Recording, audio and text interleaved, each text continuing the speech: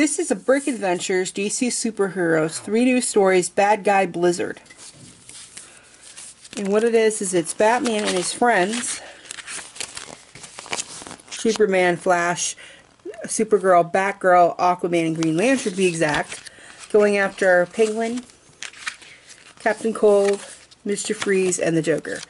So check that out. It was $4.99. I got this at Target. It was in the book section where the kids' books are.